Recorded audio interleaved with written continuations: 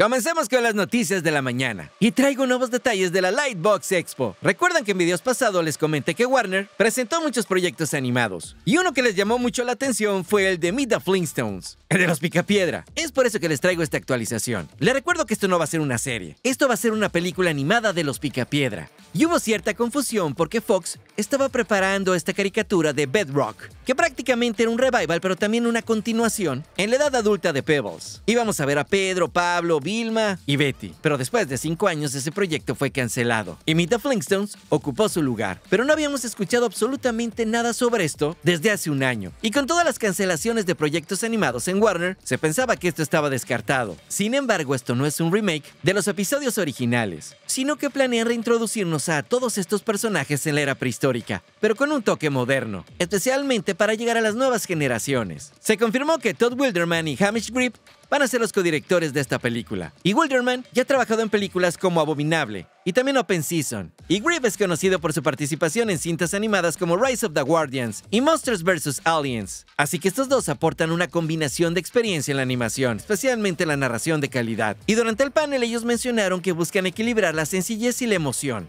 ¿Qué quisieron decir con esto? Solamente ellos lo saben. Lo interesante es que comentaron que la historia no solamente se va a enfocar en Pedro Picapiedra, sino que ahora van a poner atención en todos los personajes, cuando menos los principales. Y ya tenemos una mejor descripción de lo que mostraron en el panel. Ya les había comentado que vimos a Pedro y a Pablo en el tronco móvil, pero ahora sabemos que estaban compitiendo en una carrera. Y la confirmación de este proyecto también sugiere que su producción está más avanzada de lo que se pensaba, porque ya están compartiendo material de la película. Así que es posible que en las próximas semanas o meses tengamos una fecha de estreno. Y lo más seguro es que sea en el futuro cercano. Y si este proyecto tiene éxito, pues podría revitalizar este universo de los Picapiedra y acercar estos personajes con los que crecimos a una nueva generación. Ahora, por su parte, Apple está preparando una adaptación cinematográfica del videojuego de Oregon Trail. Si su nombre no se te hace tan conocido, es porque es un juego educativo, pero lo más seguro es que si lo conozcas porque es muy famoso y tiene muchos memes. Y la verdad esto fue un fenómeno entre los estudiantes de varias generaciones, y como que ya se convirtió en parte de la cultura pop. Como lo dije, simplemente ponlo ahí y te van a salir múltiples memes y muchas referencias humorísticas. Algunos dicen que este proyecto es ambicioso, porque va a ser una comedia de acción con toques musicales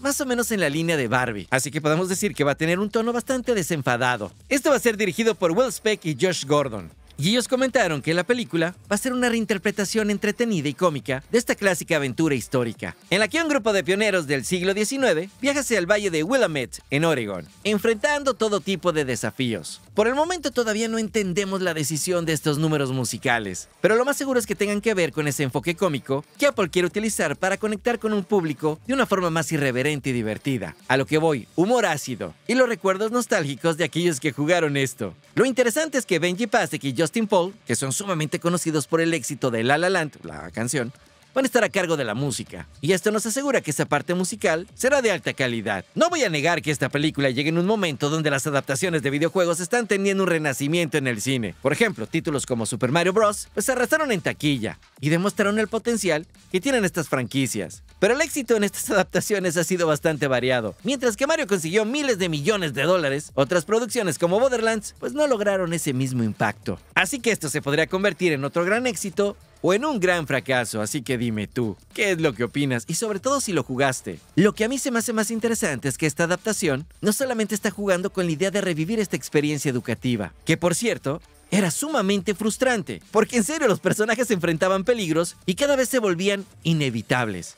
A lo que voy todos se te morían, desde fiebre tifoidea hasta explosiones de las carretas, te ahogabas en los ríos, disentería. Esto estaba lleno de ironía y fatalidad, pero aún así muchos lo recordamos con cariño. Y pues parece que todo eso va a estar presente en esta adaptación. Y la verdad sí se presta para un tono humorístico, especialmente si resaltan esa suerte infortunada de estos pioneros en el juego original. Por el momento no hay fecha de estreno, pero aunque no lo creas, la producción ya captó la atención de muchos fans y del público en general. Esta es la razón por la cual la estoy integrando en estos videos. Así que si te gustan las películas del viejo oeste, pues esto va a estar lleno de aventura, música y seguro algunos finales inesperados. Estoy casi seguro que va a tener un tono parecido a Pueblo Chico Pistola Grande, esta película de Seth MacFarlane. Y ahora sí vamos a entrar al universo de superhéroes, porque el futuro de DC Studios vuelve a agitarse. Quiero resaltar que estos son rumores. Y esto sugiere el posible regreso de Zack Snyder. Esta no es la primera vez que escuchamos esto, pero en los últimos días algunos insiders aseguran que varios ejecutivos de Warner Bros. están considerando Snyder como una opción si la esperada película de Superman, la de James Gunn, no cumple las expectativas de taquilla y crítica. Como se los dije,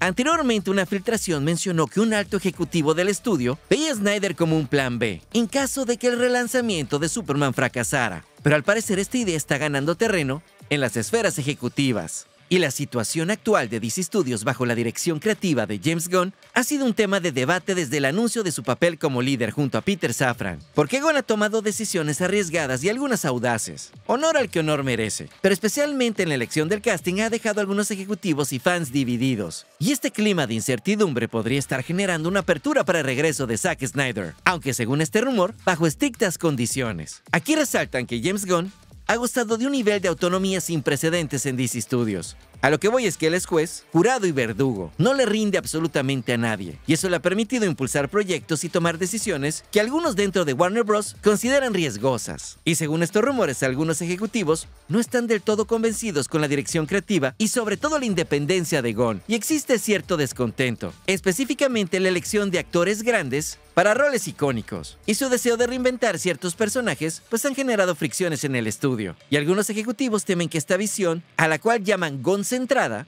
puede alinear a los fans y afectar la taquilla. Y aunque supuestamente algunos ejecutivos están abiertos a la idea de traer de vuelta a Zack, esta vez no se trataría de un regreso a su Snyderverse, el cual, como sabemos, crea un mundo oscuro y complejo que cautiva una base de fans sólida, que hasta la fecha siguen resonando, y al parecer la condición para su regreso será que Snyder acepte adaptar sus ideas al nuevo esquema del estudio, utilizando los actores actuales que ya están contratados por varios años. Esto significaría que tendría que dejar atrás los elementos tan distintivos de su Snyderverse y trabajar con la plantilla actual, lo cual ciertamente representaría un gran desafío para un director tan conocido por su visión particular y su fuerte identidad estética.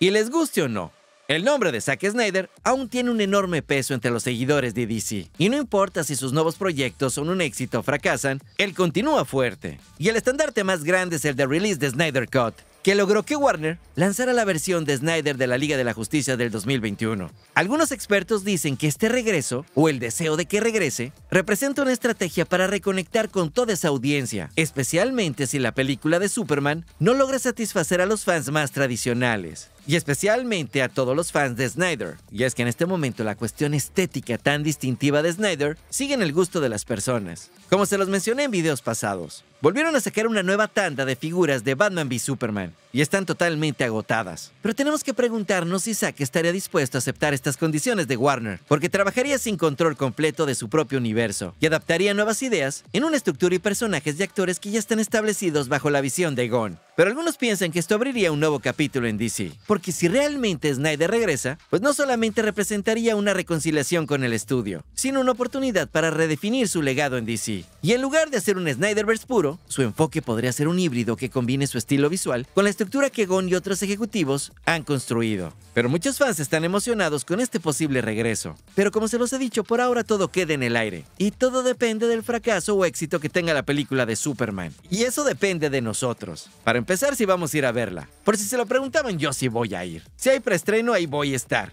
En el primer horario. Pero ya veremos qué pasa. Por el momento yo les voy a pedir que tomen esto con pinzas. Vamos a llevarla con calma. Ahora te pregunto, y es curiosidad, ya vimos lo que Snyder logró hacer con el DC Extended Universe. Y más o menos entendemos lo que quiere hacer James Gunn con el DC Universe. ¿Qué otro director crees que se pudiera hacer cargo de esta franquicia? Imagino que muchos van a decir Nolan, pero yo pienso que James Mangold podría hacerlo bien, porque la película de Logan es como un híbrido de lo que Snyder y Gunn hicieron y quieren hacer. Con esto termino este video, pero nos vemos en la noche porque todavía falta todas las noticias que están saliendo en este momento. Y esas las platicamos en la noche, en un esfuerzo de nuestra parte por traerte la información lo más pronto posible.